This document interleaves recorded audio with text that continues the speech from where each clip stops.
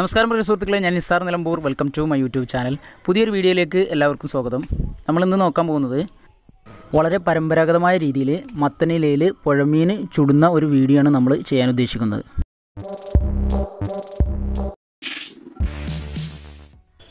മീൻ ചുടണമെങ്കിൽ നമുക്ക് ആദ്യമായിട്ട് മീൻ പിടിക്കേണ്ടതുണ്ട്. അപ്പോൾ ഈ കുളത്തിൽ കുറച്ച് മീനുകളുണ്ട്. കുറച്ച് ചെറുമീനുകളും ഒരു വലിയ മീനും ഞങ്ങൾ കണ്ടിട്ടുണ്ട്. അപ്പോൾ ഈ മഴ പെയ്ത സമയത്ത് കൂടിയ മീനുകളാണ്. ഇപ്പോൾ വെയിൽ വന്ന സമയത്ത് വെള്ളം ഒന്ന് കുറഞ്ഞിട്ടുണ്ട്. അപ്പോൾ ഈ കുളത്തിൽ കുറച്ച് മീനുകളുണ്ട്. കുറച്ച് മീനിനെ നമ്മൾ ഇതിന് മുമ്പ് ഇന്ന് പിടിച്ചതാണ്.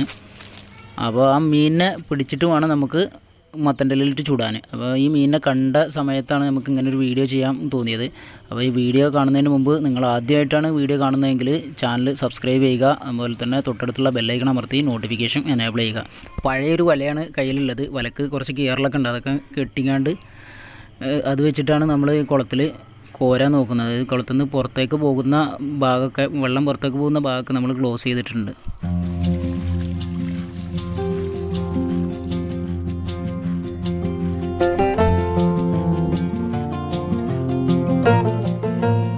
കുറേ ചെറുമീനുകളൊക്കെ ഉണ്ട് കേട്ടോ അതിൽ പക്ഷേ അതൊന്നും നമുക്ക് ആവശ്യമില്ല. നമുക്ക് നമ്മൾ കണ്ട ഒരു അത്യാവശ്യം കുഴപ്പമില്ലാത്തൊരു വലിയ മീൻ ഇതിലുണ്ട്. ആ മീൻ കിട്ടിക്കഴിഞ്ഞാലേ നമുക്ക് ഈ വീഡിയോ ചെയ്യാൻ പറ്റുള്ളൂ. അത് കണ്ടിട്ടാണ് നമ്മൾ ഈ വീഡിയോന്റെ ഒരു പ്ലാനിങ്ങിലേക്ക് എത്തുന്നത്. പിന്നെ തൊട്ടടുത്ത് തന്നെ മത്തനിലുണ്ട് കണ്ടോ ചെറിയ മീനുകളൊക്കെ ഉണ്ട്. പക്ഷേ അതൊന്നും നമുക്ക് ആവശ്യമില്ല. ഇനി കൈ കൊണ്ടൊന്ന് തപ്പി നോക്കട്ടെ. വെള്ളം ഏകദേശം കലങ്ങിയിട്ടുണ്ട്. അപ്പം കൈകൊണ്ട് തപ്പിയാൽ തന്നെ മീൻ കിട്ടാൻ സാധ്യതയുണ്ട്. നമ്മൾ കണ്ടതാടാ മീൻ ഇവിടെ.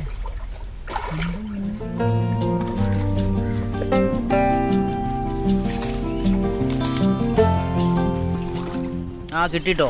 നമ്മൾ കണ്ട മീൻ കിട്ടി. തിലോപ്പിയാണ് കേട്ടോ മീൻ തിലോപ്പി മീനാണ്. അത്യാവശ്യം വലിപ്പം ഒറ്റ മീനുള്ളൂ. പിന്നെ കുറച്ച് കുറച്ച് ചെറുമീനുകളൊക്കെ കിട്ടിയിട്ടുണ്ട്. കുറച്ച് ചെറിയ മീനുകൾ അപ്പോൾ നമ്മൾ ഇനി ഈ മീനിനെ മത്തന്റെ ഇട്ടിട്ട്. അതായത് പരമ്പരാഗതമായ രീതിയിൽ പഴയ കാലത്ത് നമ്മൾ ചെയ്തിരുന്ന പോലെ മത്തന്റെ ഇലയും അതിൽ മുളകും ഉപ്പും ഒക്കെ ഇട്ടിട്ട് വെളിച്ചെണ്ണയൊക്കെ ഇട്ടിട്ട് നമ്മൾ പൊള്ളിച്ചെടുക്കുകയാണ് ആ ഒരു വീഡിയോ ആണ് ഞാൻ ചെയ്യാൻ പോകുന്നത്. അപ്പോൾ ചുടാനായിട്ട് മത്തനെല്ല പറിക്കലാണ് അടുത്ത പരിപാടി. പിന്നെ നമുക്ക് ആദ്യം ഒരു മൂന്ന് മത്തനില കുറച്ച് ഇളയത് പറിക്കുക. പിന്നെ കുറച്ച് കട്ടി കൂടിയ ഇല വേണം. അതിന് വേണ്ടിയിട്ട് കുറച്ച് മൂപ്പ് കൂടിയ ഒരു ഇലയും പറിക്കുക. നാല് അഞ്ച് മത്തന്റെ ഇലകൾ എടുത്തിക്കണം അത് മൂപ്പ് കുറഞ്ഞ അതായത് ഇല തൂമ്പായിട്ടുള്ള ഇലകളാണ് നമ്മൾ അകത്ത് വെക്കുന്നത്. പുറത്ത് വെക്കാൻ കുറച്ച് കട്ടിയുള്ള ഇല എടുത്തിട്ടുണ്ട്. ഇനി നമ്മളിത് മീൻ നന്നായി ക്ലീൻ ചെയ്തതിന് ശേഷം നമുക്ക് ഇത് ചുട്ടെടുക്കാം. അതിനെ ചെളുക്കൊക്കെ കളഞ്ഞിട്ട് നല്ല വൃത്തിയായിട്ട് നമുക്ക് കഴുകിയെടുക്കാം.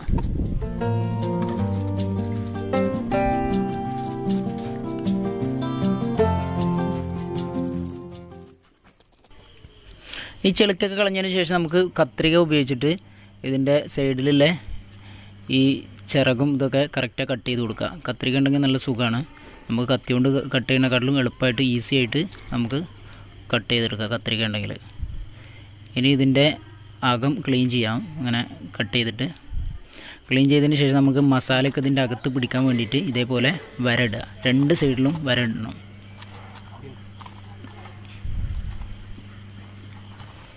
ഇനി ഇതിലേക്ക് വേണ്ട മസാല ഉണ്ടാക്കാൻ വേണ്ടിയിട്ട് നമുക്ക് പച്ചമുളക് വേണം. പച്ചമുളക് നമ്മൾ ഫ്രഷ് പച്ചമുളക് നമ്മളെ മരത്തിലുള്ള പച്ചമുളകാണ് പൊട്ടിച്ചെടുക്കുന്നത്.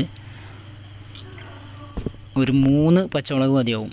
ഇതിന് ആവശ്യമായിട്ടുള്ള മൂന്ന് പച്ചമുളക് എടുത്തു. ആ മൂന്ന് പച്ചമുളകും അതുപോലെ തന്നെ ഒരല്ലി ഒരു ചെറിയ ഒരു അല്ലി വെളുത്തുള്ളി വേണം. ഈ ഒരു മീനായതുകൊണ്ടാണ് കേട്ടോ മീൻ കൂടുതലുണ്ടെങ്കിൽ കൂടുതൽ ഉപയോഗിക്കാം. ഒരല്ലി വെളുത്തുള്ളി നടു മുറിച്ചിട്ട് അതും പിന്നെ ഒരു ഇഞ്ചി കഷ്ണം. ആ ഇഞ്ചി കഷ്ണം നമ്മൾ നല്ല ക്ലീനാക്കി പുറത്തെ തൊലിയൊക്കെ കളഞ്ഞ് ക്ലീനാക്കി ചെറുതാക്കി കട്ട് ചെയ്തിട്ടതിന് ശേഷം നമ്മളിതിൽ നല്ല മിക്സാക്കി എടുക്കണം. മിക്സാകാൻ വേണ്ടിയിട്ട് നമുക്ക് മുളകൊക്കെ ഒന്ന് കട്ട് ചെയ്ത് കൊടുക്കുക കട്ട് ചെയ്തതിന് ശേഷം നമ്മൾ ഈ ഇതിലിട്ടിട്ട് നന്നായിട്ട് അര അരച്ചെടുക്കണം. അതിന് മുമ്പ് നമുക്ക് കുറച്ച് ഉപ്പിടാം ഉപ്പിടുമ്പോൾ ശ്രദ്ധിക്കേണ്ടത് ഉപ്പ് കുറച്ച് അത്യാവശ്യം ഇടണം. കാരണം ഈ മത്തനില ഉപ്പ് പിടിക്കാൻ സാധ്യതയുണ്ട്. അതുകൊണ്ട് മീനിൽ ഉപ്പ് ഉണ്ടാകണമെന്നുണ്ടെങ്കിൽ അത്യാവശ്യം ഉപ്പ് ഇട്ടാലേ നമുക്ക് മീനിലും മത്തനിലും ഉപ്പ് പിടിക്കുള്ളൂ. നമ്മൾ വായന്റെ ഇലയിലൊക്കെ ചുടുന്ന പോലെയല്ല. മത്തന്റെ ഇലയിൽ ചുടുമ്പോൾ മത്തന്റെ ഇലയിൽ തന്നെ ഉപ്പ് പിടിക്കാൻ സാധ്യതയുണ്ട്. ഉപ്പ് പിടിച്ചെടുക്കും അത്.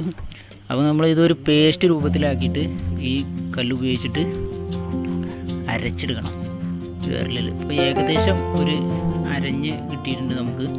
ഇനി നമ്മൾ നമ്മുടെ മത്തനില കഴുകിയിട്ട് അതിൽ വെച്ചിട്ട് വേണം ഈ മസാല ഇതിൽ നന്നാക്കി പിടിപ്പിക്കാൻ അപ്പോൾ നമ്മൾ ആദ്യത്തെ മത്തന്റെ ഇല അതായത് ഇളയ മത്തന്റെ ഇല നമ്മൾ കട്ട് ചെയ്തെടുത്ത മത്തന്റെ ഇലയിൽ ഏറ്റവും തൂമ്പല അതാണ് ഫസ്റ്റിൽ വെക്കേണ്ടത്. ആ മത്തന്റെ ഇലയിൽ നമ്മളിത് വെച്ചിട്ട് നമ്മുടെ മസാല ഈ മീനിൽ നന്നായി തേച്ച് പിടിപ്പിക്കണം. പിന്നെ തേക്കുമ്പോൾ ശ്രദ്ധിക്കണം. തേച്ച് കഴിയുമ്പോൾ കൈ നല്ല എരിവുണ്ടാവും. അപ്പം നല്ല ചുട്ട് കത്തും കൈ. അപ്പോൾ പെട്ടെന്ന് തന്നെ കൈ കഴുകണം. അപ്പോൾ നല്ല സ്പീഡായിട്ട് നമുക്ക് മസാല ഇതിൽ തേച്ച് പിടിപ്പിക്കാതെ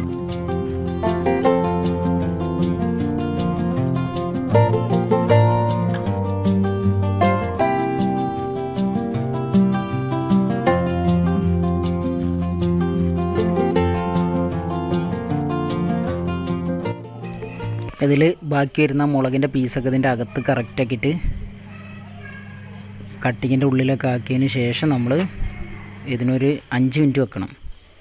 അതിന് ശേഷം നമ്മൾ ഈ മത്തനില ഇതേപോലെ വീഡിയോയിൽ കാണുന്ന പോലെ ഇതിനെ ഈ മീൻ അടക്കം പൊതിഞ്ഞെടുക്കണം.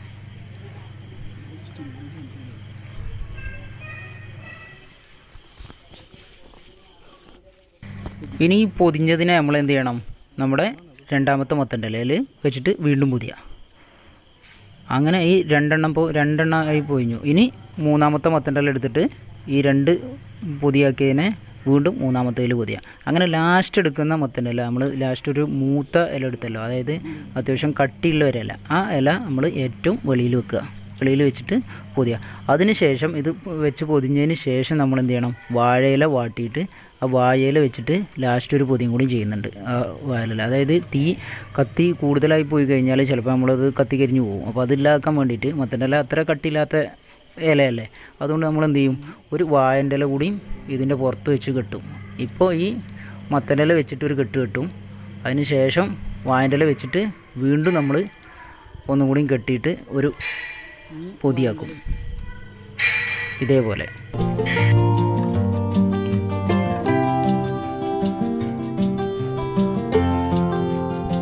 ഇനി ഇത് നേരത്തെ കാണിച്ച പോലെ തന്നെ ഈ വായന്റെ കയറെടുത്തിട്ട് തന്നെ നമ്മൾ വായൻ കയറെടുത്തിട്ട് വീണ്ടും ഇതിനെ വരിഞ്ഞു കെട്ടും. എന്നിട്ടൊരു പത്ത് മിനിറ്റ് പതിനഞ്ച് മിനിറ്റ് നേരം ഇതിനെ ഇതേപോലെ നമ്മൾ ഫ്രീ ആക്കി വെക്കണം. അതായത് നമുക്ക് തീ ഇടാനുള്ള ഒരു സമയം. തീ ശേഖരിച്ച് നമുക്ക് ചകിരി തൊണ്ടും ഒക്കെ ഉപയോഗിച്ചിട്ട് തീ കത്തിക്കാനുള്ള ആ ഒരു സമയത്ത് ഇതിൽ മസാല നല്ല പിടിക്കും. മസാല എന്ന് പറഞ്ഞാൽ ഈ മുളകും ഉപ്പും നല്ല ഇതിൽ പിടിക്കും. നമ്മളിതിൽ കറിവേപ്പിന്റെ ഇല ഇട്ടിട്ടില്ല. കറിവേപ്പില ശരിക്കും കറിവേപ്പില ഇതിന്റെ അകത്ത് ഇടണമായിരുന്നു. പക്ഷെ നമ്മൾ ഇട്ടിട്ടില്ല. ഇനി അത് അയക്കുന്ന സമയത്ത് നമുക്ക് പൊട്ടിച്ചിട്ടാലും മതി. ഈ ചകിരിയും അതുപോലെ തന്നെ ചിരട്ടയൊക്കെ ഉപയോഗിച്ചിട്ട് നമ്മൾ തീ ഇടണം. തീ നല്ല കത്തി സ്ട്രോങ് ആവുന്ന സമയത്ത് നമ്മൾ ഇതിൽ നമ്മൾ ഉണ്ടാക്കി വെച്ച ഈ ഒരു പൊതി മീനിന്റെ പൊതി നമ്മൾ ഇതിലേക്ക് വെക്കും.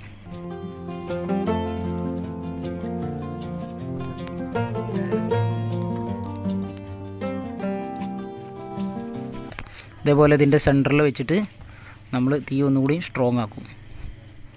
അപ്പോൾ നല്ല അടിപൊളിയിൽ തീ കത്തുന്നുണ്ട്. ഇങ്ങനെ കത്തിയിട്ട് കുറച്ച് സമയം കഴിയുമ്പോൾ നമ്മൾ ഇതിന്റെ ഈ സൈഡിലുള്ളത് അപ്പുറ സൈഡ് മറിച്ചിട്ട് കൊടുക്കണം. മുകളിലൊന്നും തീ ആയിട്ടില്ലെങ്കിൽ അപ്പോൾ അത് കറക്റ്റായി എല്ലായിടത്തും ഇത് ഒരേപോലെ ചൂടെത്താൻ വേണ്ടിയിട്ട് നമ്മളതിനെ തിരിച്ച് ഒരു സമയം തിരിച്ചിട്ട് കൊടുക്കണം.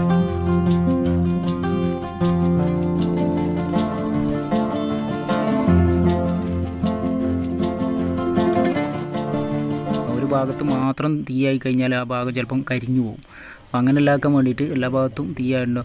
ഇപ്പോൾ നമ്മൾ പുറത്ത് വെച്ച വായന്റെ ഉണ്ടല്ലോ അത് കംപ്ലീറ്റ് കത്തി കരിഞ്ഞു പോയിട്ടുണ്ട് അത് പുറത്ത് പോയിട്ടുണ്ട്. ഇപ്പോൾ ആ മത്തനെല്ലാം നമ്മൾ ലാസ്റ്റ് വെച്ച മത്തനെല്ലാം അതേപോലെ തന്നെ കറക്റ്റായി കിടക്കുന്നുണ്ട്. ഓഹോ.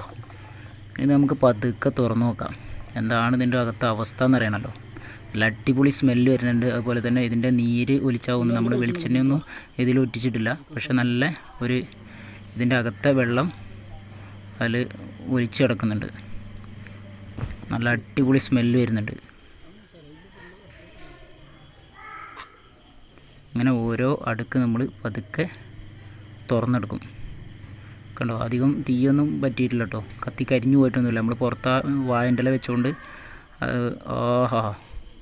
സൂപ്പറായിട്ടുണ്ട് നല്ല അടിപൊളിയിൽ നമ്മൾ ആ വെച്ച അതേപോലെ തന്നെ വെന്ത് നല്ല സൂപ്പറായിട്ട് നല്ല അടിപൊളി സ്മെല്ല് ഉണ്ട്.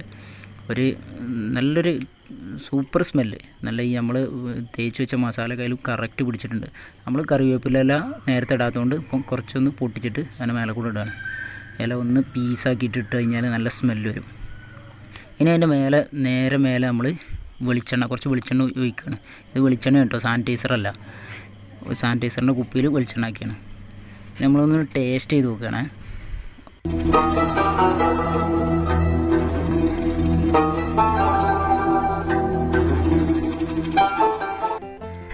അടിപൊളി ടേസ്റ്റ് കേട്ടോ ഒരു സൂപ്പറാണ് അതായത് ഇതിലൊരു കെമിക്കലും ഇല്ല.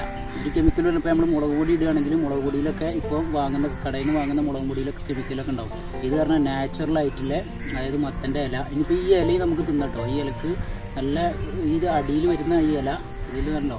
ഇതിലെല്ലാം മുളകും ഉപ്പും എല്ലാം പിടിച്ചിട്ടുണ്ട്.